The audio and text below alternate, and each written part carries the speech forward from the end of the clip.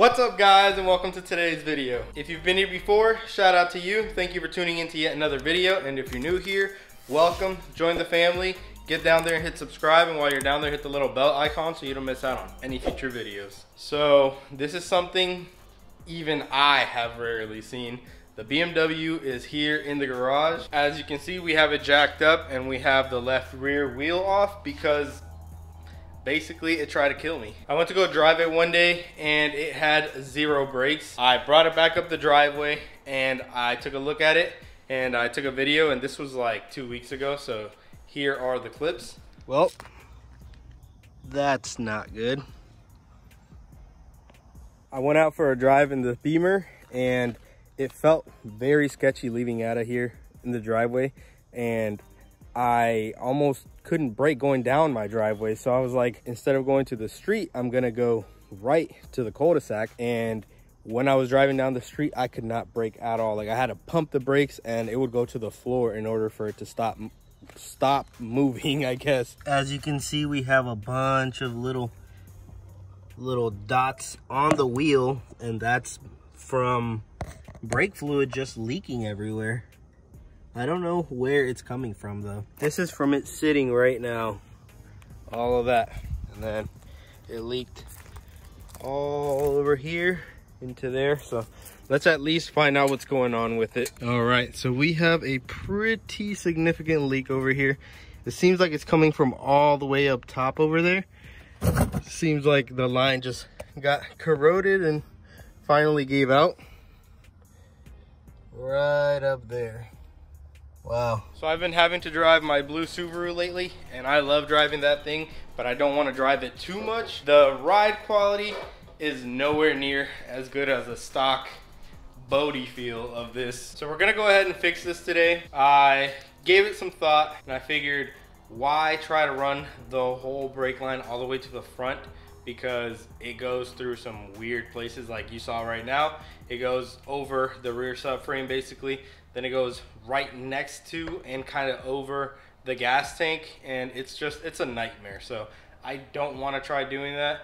What I'm gonna do is I'm gonna cut it where I know it's good because literally there's only like a foot and a half that's bad. So I'm gonna cut it where it, I know it's good and I'm gonna put a fitting there, gonna put a union and just run a short piece of brand new brake line and that should fix our issues. Oh, and I also need to do a brake flush once it's done because we have introduced so much air into the system and I'm pretty sure the reservoir is completely empty. So let's go ahead and knock out the line first. So first thing I did was take everything out of my way and try to expose the single brake line. So if you see here, we have the rubber hose that goes from the caliper to the hard line. They meet up right over here.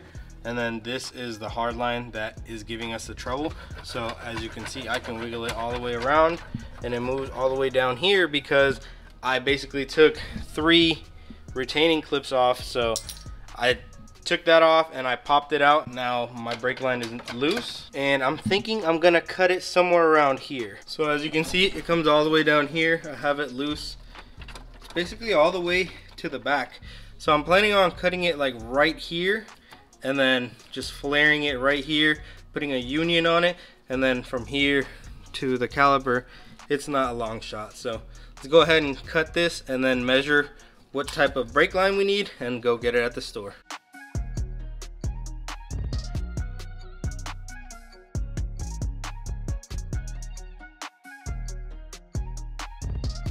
Okay, so here is our brake line. I had to cut it right here with the aviation snips. I wanted to pull it out all one piece, but it was not going to because of this bend. It also had another one here that I had to straighten out. But basically, I think with about eh, three or four feet, we should be safe. So we're gonna go ahead and grab that at the store. I already know that it's a 3 16 because that's the only adapter that fits in there. So basically what I'm gonna do is go to the store, get some, and then I will make the flare right here with the tool. Obviously, this would be an example.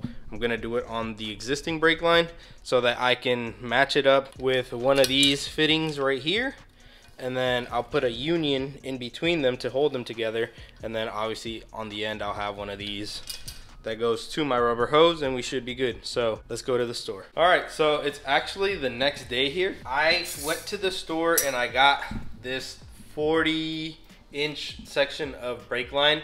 This is the NICOP or NICOP or whatever, the copper nickel.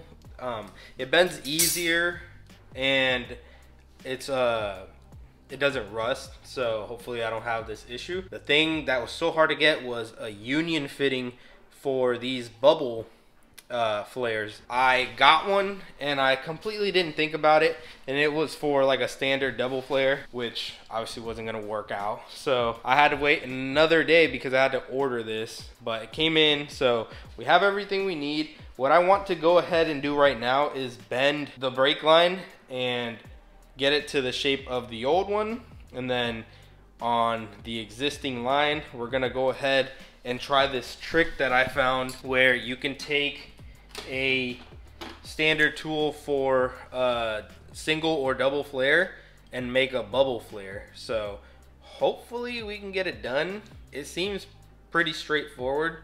They say to, instead of using like the uh, beveled end right here, to use the back of it. So we're gonna go ahead and try and cross our fingers that it works because I don't have a bubble flare tool. If it doesn't turn out good, then all we have to do is get the right tool just make one flare and that's it. So we're gonna go ahead and bend the line first and then we'll figure it out.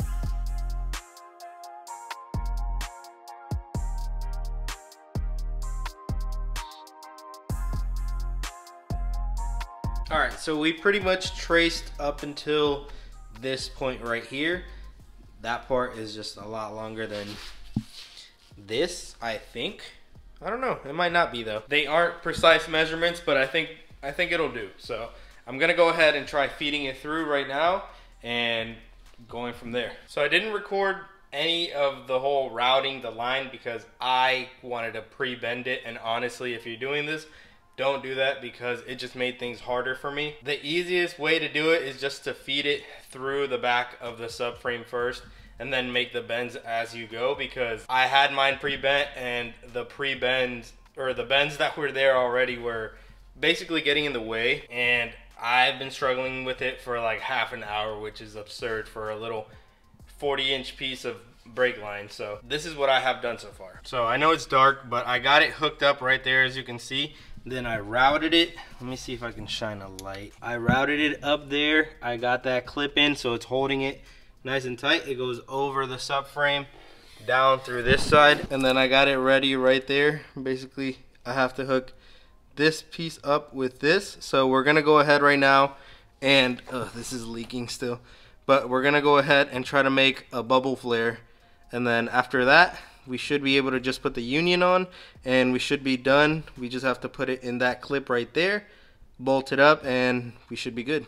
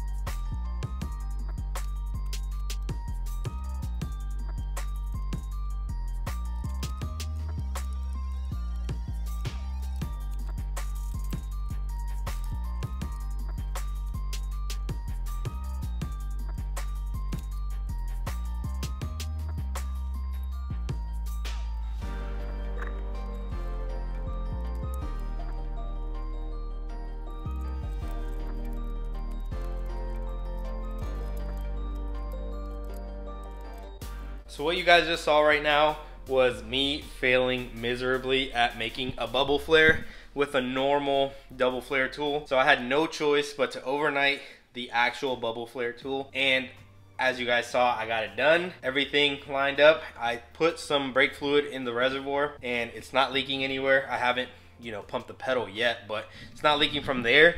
What I did do was I cracked the bleeder screw loose and it's been dripping from there. So I know it's traveling all the way through. I'm pretty sure it would have leaked from there already if it was going to. But as you guys can see, it's wet right there because it's been dripping. Look, it has a drop right there. I've always liked cracking the bleeder loose and letting it drip for a little bit when it comes to anything brake related like when you replace a caliper or whatever i think it just makes the job easier i like to crack it loose and let it bleed on its own for a while. That way when you start bleeding a lot of the air already escaped because even though it's not under pressure air always tries to find a way out right? So if you have everything closed and you have this one open it's gonna try to make its way out here and usually it does. So you get the majority out this way and now it's just time to bleed the rest and go take it on a test drive and see if it works.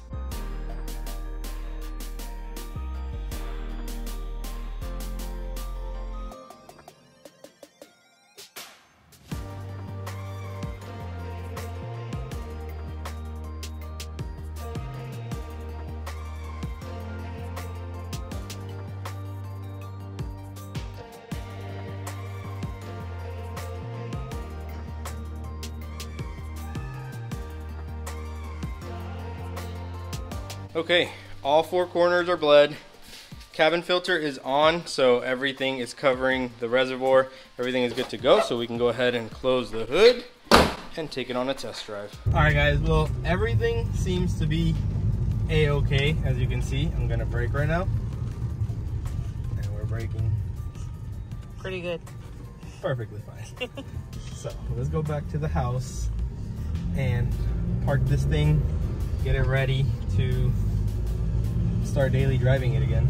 Well, the car is braking perfectly fine now, and there is no leaks whatsoever other than that water leak, which you can tell there's drips all over the bottom side skirt. So we don't have any leaks, which is awesome. So I'm glad we can start daily driving this thing again. I actually did miss driving it because of the nice comfiness of it. Next week, I want to get into making it look a little better. I want to maybe paint the wheels and calipers. I think doing that alone is going to change the look of the car drastically.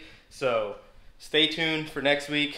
I think, don't hold me to it, but I think next week that's what we're gonna get into. But yeah, that's gonna be it for now. So if you liked it, make sure you smash that like button and subscribe to the channel. And while you're down there, hit the little bell icon so you don't miss out on any future videos. And as always, keep moving forward and stay on the gas.